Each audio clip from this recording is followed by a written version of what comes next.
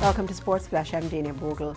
Portmore United's coach, Shavar Thomas, says the team will be turning its focus on preparing for the start of the National Premier League and going one better than last season to participate in the CONCACAF League next season. Four-day runners-up Jamaica will start their West Indies under-19 one-day cricket campaign against the Windward Islands at Conaree tomorrow.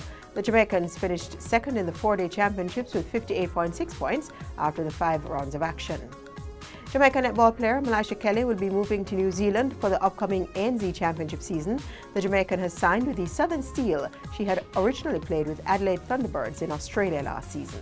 Cristiano Ronaldo was banned for five games after shoving a referee following his red card for diving in Real Madrid's 3-1 win over Barcelona in the season-opening Spanish Super Cup. Ronaldo was suspended for one game for the red card in Sunday's Super Cup leg at Barcelona.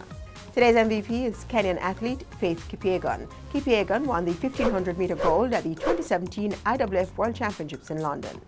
And now we leave you with our match watch.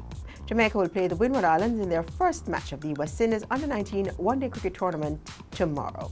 I'm Dana Bogle and that was Sports Flash. Thank you for watching. See you next time.